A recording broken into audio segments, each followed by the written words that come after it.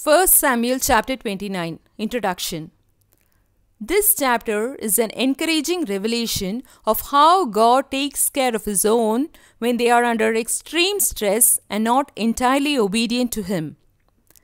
The name of God does not appear in this chapter except in the references of Achish to God.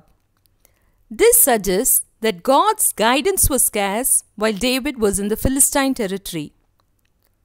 David had gone his own way into the land of the Philistines and settled there. By deceiving Achish, the king of Gath, David had got a very good name from Achish. Achish also gives a very good report of David in verses 3, 6, and 9. In addition, David was given a high post of being the bodyguard of Achish and was asked to fight against the Israelites. David is in a dilemma now fight for Israel or fight against Israel. If David did not fight against the Israelites, he would be deceiving Achish and becoming a traitor to a hospitable man. If David fought against the Israelites, that surely would have kept him from being accepted as Israel's next king. David is in a tight corner. David's problem appeared to have no solution. There seemed to be no way out. So, David decided to show his loyalty to Achish by fighting for the Philistines against Israel. God wonderfully intervened. God's gracious providence made the commanders of the Philistines refuse to let David go with them to this battle. David was thus spared from fighting against his own people and from being part of the war that killed Saul and his best friend Jonathan. This chapter gives us a wonderful message that there is no circumstance beyond solution and no problem or difficulty beyond the power of God to control or work out. In this chapter, we have the following incidences to show how God providentially intervened and protected David. 1. David marches with the Philistines, verses 1 2. 2. The lords of the Philistines refused to let David go to battle with them, lest he should betray them. Verses 3 to 5. 3. Achish expresses his confidence in David. Then David was dismissed by Achish back home. Verses 6 to 10. 4. David and his men return. Verse 11. The battle lines are drawn between the Philistines and the Israelites. Verse 1. This chapter is a continuation of the narrative of the war between the Israelites and the Philistines in chapter 28, verses 1 to 4. The Philistines made a deep incursion into the Israelite territory and camped at Shunem on the slopes of Mount Hermon. From Shunem they advanced to Aphek. The Philistines gathered all their forces at Aphek. The name Aphek signifies a fortress. We know that there is one Aphek in the North Palestine. This Aphek, where the Philistines gathered all their forces, is in Canaan, Joshua 12:18, in the tribe of Issachar. It was situated in the plain of Jezreel. Israel camped by the spring in Jezreel, which forms the base of Gilboa. To camp near a spring of water was a point of great importance to an army in countries such as these, where water was very scarce. Jezreel was a valley between Mount Hermon in the north and Mount Gilboa in the south. The Philistines were gathering all their forces for battle while the Israelites were still camping by the spring. This shows the unpreparedness of the Israelites for the battle.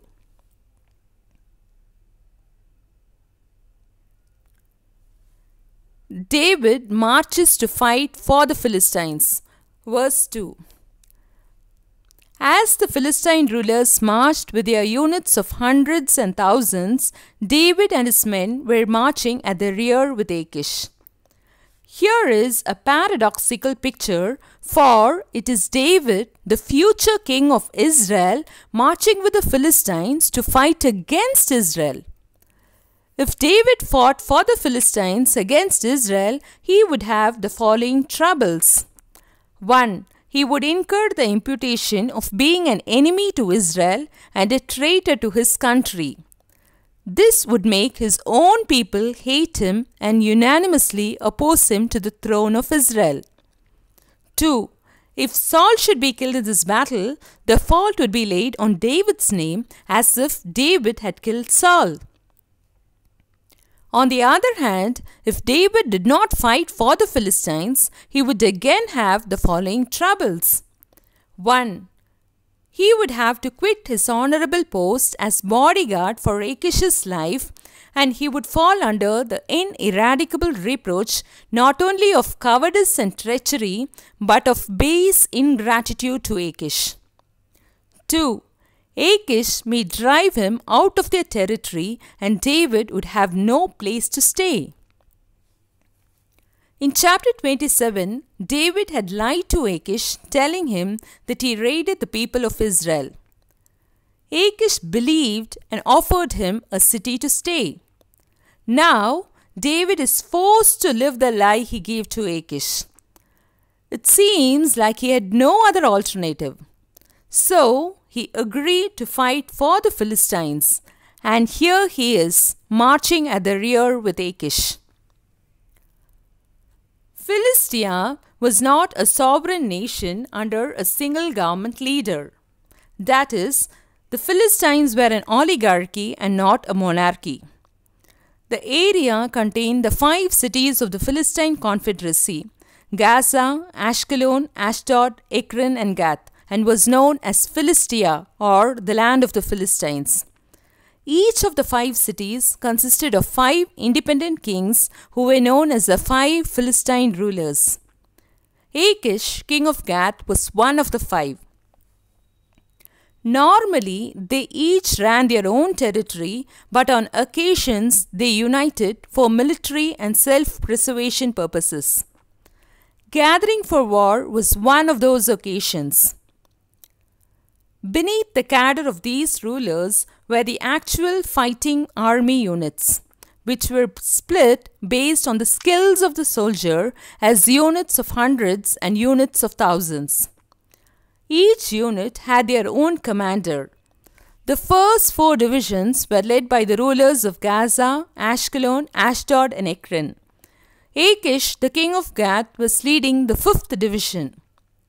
According to the kind of military services given to David and his men, they were marching at the rear with Achish.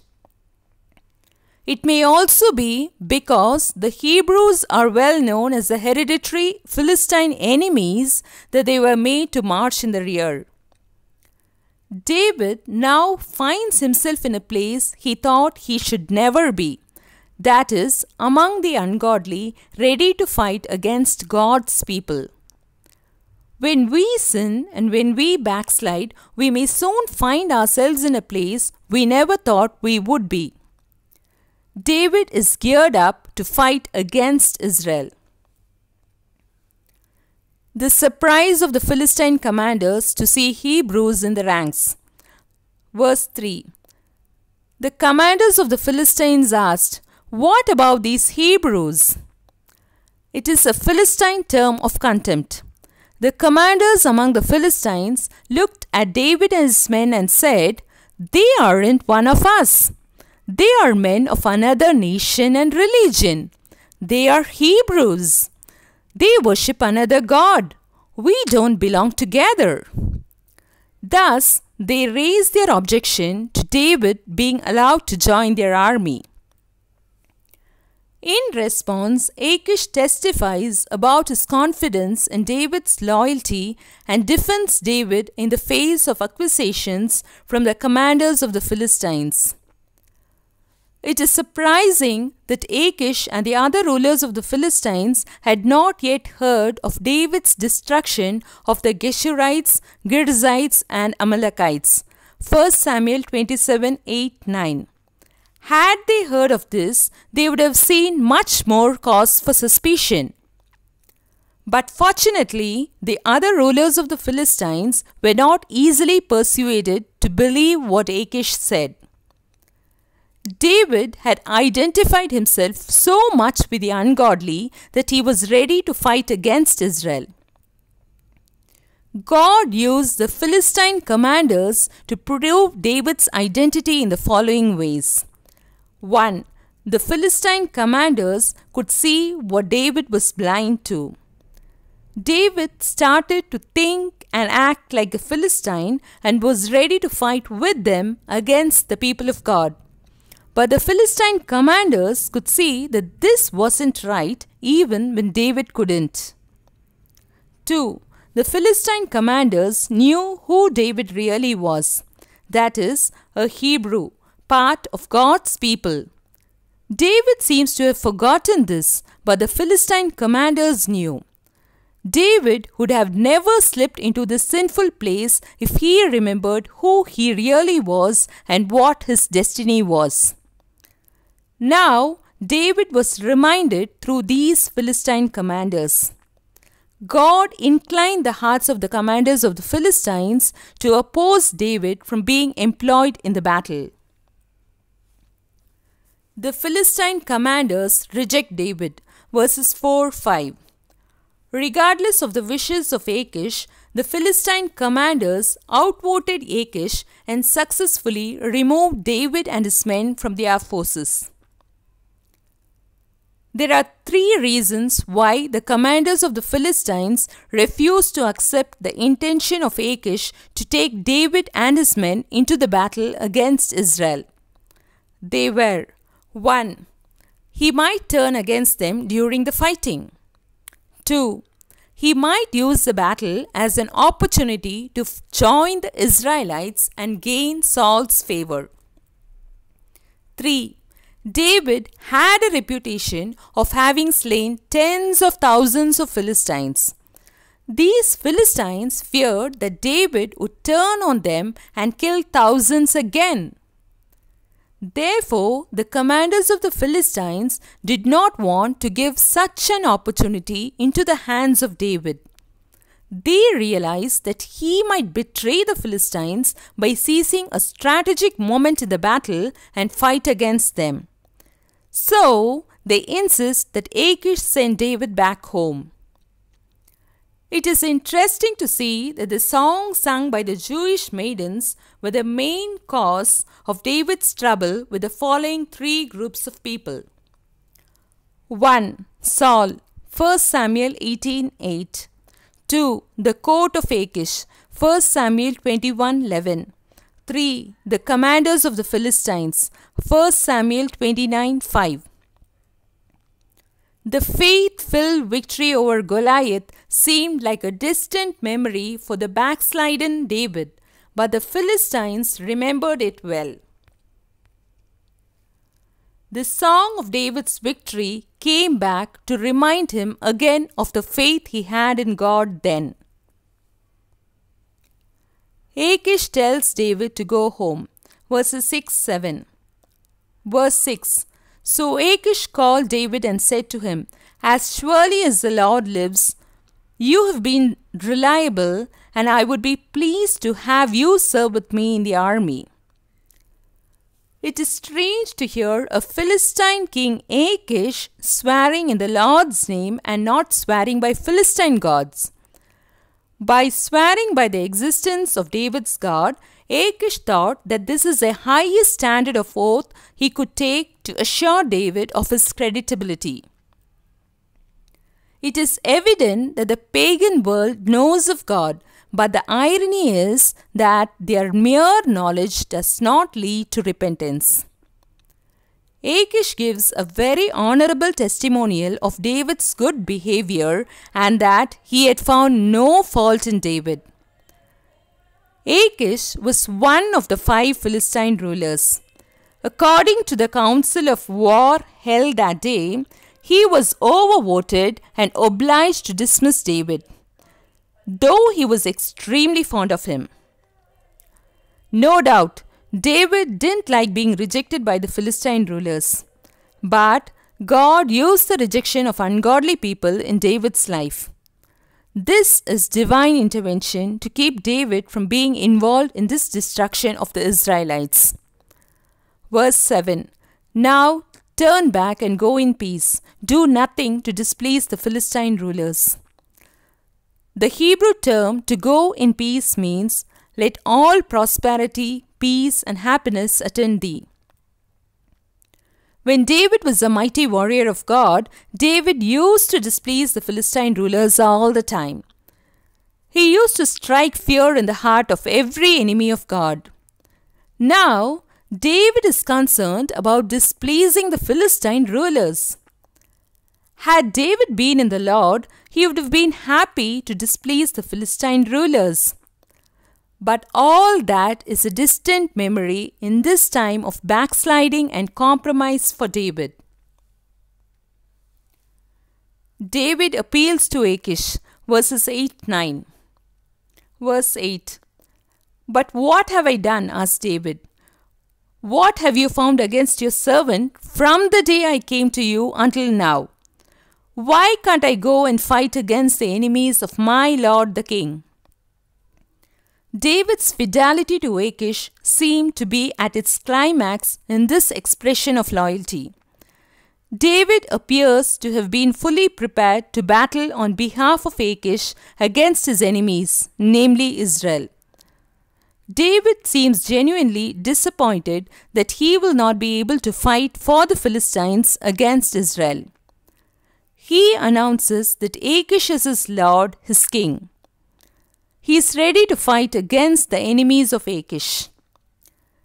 David had formerly refused to stretch out his hand against the Lord's anointed. Chapter 24, verses 6 10, chapter 26, verses 9, 11, 16, and 23. Now, David seems to have been capitulating and compromising. Achish signifies the great pleasure and satisfaction he has in David. David had been as pleasing in his eyes as an angel of God. Achish may have learned the title of angels from the expression of his Israelite neighbors or from David during the time he sojourned with him. The term angel of God is a Hebrew expression of commendation in those times 2 Samuel 14 17, 2 Samuel 19 27. Achish lays all the blame of David's dismissal upon the rulers and asks David to go back home.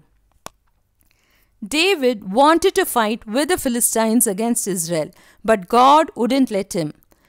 David's heart is in a bad place. He sunk as low as he could sink he ultimately went to fight against God with the enemies of God. But God hasn't abandoned his anointed. God inclined the hearts of the rulers and commanders of the Philistines to dismiss David back home. The providence of God kept David from fighting against Saul, the Lord's anointed, and his own countrymen. God sovereignly used the suspicion of the Philistine rulers to deliver David from the dilemma of either fighting against his own countrymen or betraying his true sentiments, thereby facing the wrath of the Philistines. The urgency for David to leave early. Verse 10 Now get up early along with your master's servants who will come with you and leave in the morning as soon as it is light. Master's servants are Saul's servants who had joined David to fight against Saul. 1 Chronicles 12 19 to 21 says that these were the men of Manasseh who joined David instead of obeying Saul's summons to war with the Philistines. These men also went back with David to Ziklag now. It was to these newcomers that Achish applied the expression here. David and his men were ready to leave the next morning at daylight. If they travelled at night, Achish felt that the Philistines may attack David and danger would fall upon them. For their own safety, Achish advises them to leave in the morning as soon as it is light so that they could see their own way. David returns to Ziklag and the Philistine army prepares to meet Saul. Verse 11 All these events were a wake up call to David. He should have heard God speaking in many ways, but he didn't. Instead, God intervened and made David return to the land of the Philistines. By leaving back to the land of the Philistines, God made David neutral by avoiding two extremities. 1. Avoided fighting against Israel. 2. Avoided helping an enemy to conquer the promised land. In accordance with the orders of Achish, David took a three day journey into the land of the Philistines to Ziklag.